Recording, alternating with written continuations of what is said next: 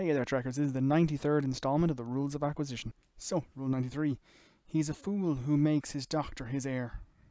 Making anyone who, in theory, has your life in their hands the heir to your fortune is a foolish act as it provides them the incentive and motive for them to weigh up their options. A better outcome for them is less than favourable outcome for you.